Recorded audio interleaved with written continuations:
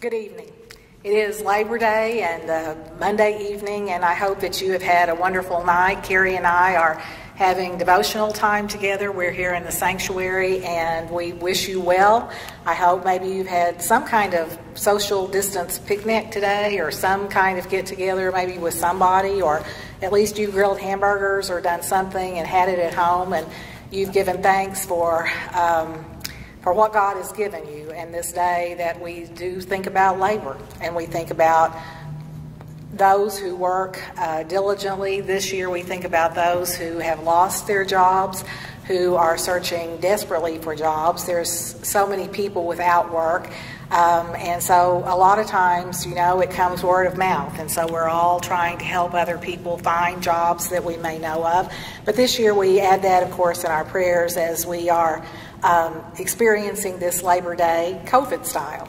And so uh, it is a very serious prayer. And uh, we, but I do hope in many ways that you have had a wonderful Labor Day. And if you have been off on this day, off from your job or whatever, I do hope that you've had some time to rest. And I hope over this long weekend that you've had a time to uh, be alone with God maybe once or twice and just be able to concentrate on the goodness of God and how much you are truly loved. I want to share this passage with you on this Labor Day because I think it gives us a way to um, transition into this work week. Sometimes when we've had a long weekend, it's like, oh, I don't want to go back to work tomorrow, and and you know things look like not much fun. And so we kind of have, you know, that time. And so this is a way I hope uh, that will help you make that transition and remember what life is all about, even our labor. So our scripture reading tonight is from uh, the book of Romans, the letter to the church at Rome from Paul. And these are the words that he writes to them. Now remember, this is the church in Rome. You can imagine um, of living in Rome during this time and all the hubbub and all of the people going and coming everywhere, all the things that are going on. And these are those Christians who have are striving for a different way to live, who are trying to follow the Christ. And so this is what he writes to them. Let love be without hypocrisy. Abhor what is evil. Cling to what is good.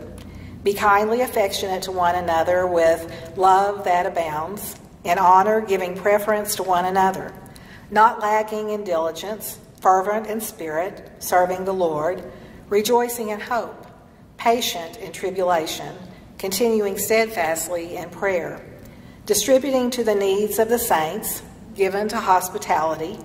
Bless those who persecute you, bless and do not curse. Rejoice with those who rejoice, and weep with those who weep.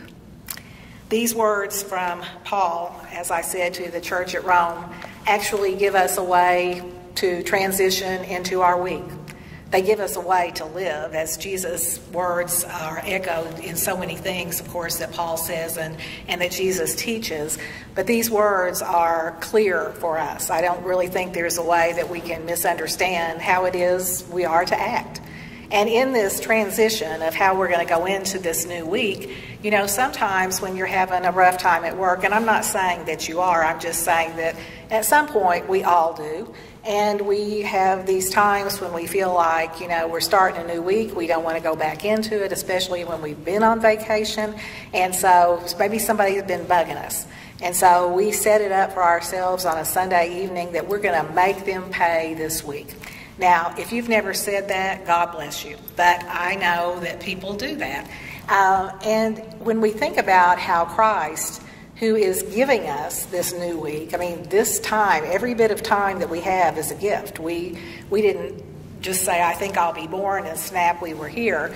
Uh, so everything we have is truly a gift. It's been added to us. We came into the world with nothing, and here we were, and somehow we have clothes, and somehow we are eating, and, you know, and there are many people in the world, as the scripture tells us, that we need to be uh, always looking out for but we are those who are called to act in a particular way to help those who do not have and to help those that we in fact come in contact with every day. So as we think about making this transition back to work, I want you to hear these words again. Bless those who persecute you. Bless and do not, do not curse. Rejoice with those who rejoice, and weep with those who weep. When you set your mind to hurt someone, or when you set your mind to get someone in the field in which you work, you're spending a lot of time on that person. And it may come true. I mean, you may have the power and the position that you're in. It may be a way, there may be a way that you can truly hurt that person or cause them to lose their job.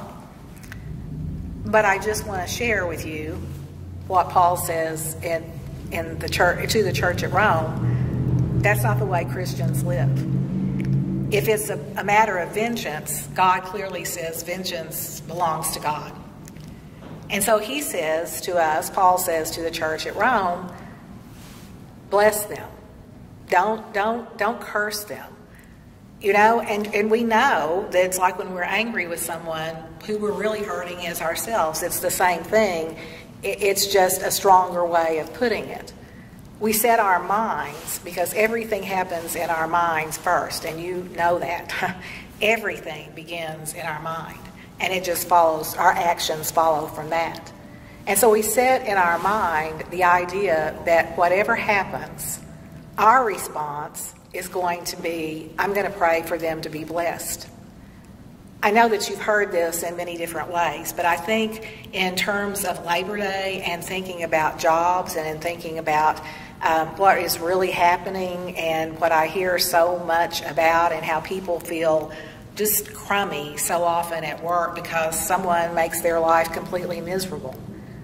But what you can be doing in that situation, if it's happening to you, is continuing every time you feel persecuted or you know someone else is persecuted. There are ways to handle that, but one of those ways is always to pray for a blessing for that person who is doing the persecuting. We are not those who persecute. We're clearly called not to do that. It couldn't be any plainer. But we are also clearly called to bless. And so it's, it's a hard thing. The other thing that's tied with this one that I want us to be clear about tonight as we go into the new week is the idea of rejoicing with people. It kind of works that way at work too, doesn't it?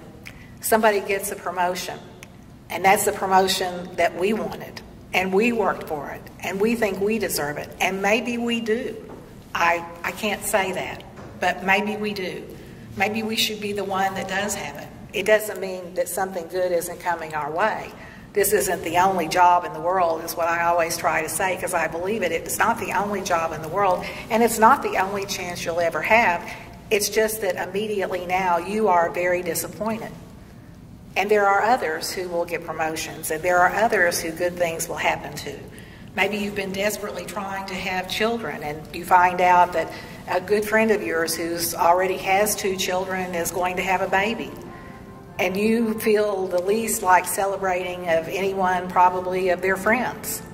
And yet we're called, it's not really a choice that we have as we follow Christ. We are called directly, as Paul writes to the church at Rome, to rejoice with those who rejoice.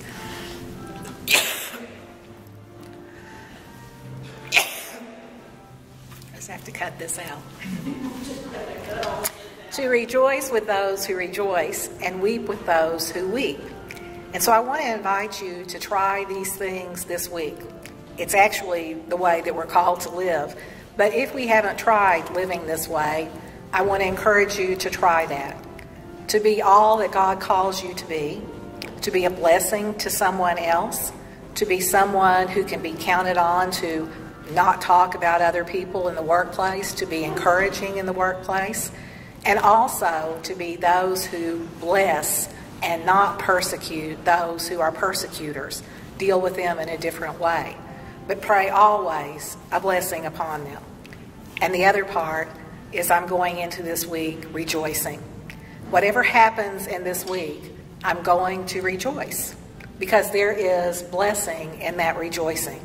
It's not going to be terrible forever. You can rejoice with other people and still feel joy yourself, and it's not going to take one thing away from any of us. In fact, it's going to make us that much more desirable. It's going to make people want to work with us more. It's going to want. Uh, it's going to encourage other people to want to be on the same team that we're on. Those who rejoice are much more um, attractive to other people that they work with and that they serve than those who are always looking for kudos or ways that they can be built up themselves. So I want to leave you with that tonight. And as I said, I pray that you have had a wonderful weekend and that you are praying for others. This whole passage from uh, Romans 12 is an excellent passage for you to look back at tonight as you prepare yourself for the week. But always know there are ways, we don't have to guess what they are, that Christ calls us to live.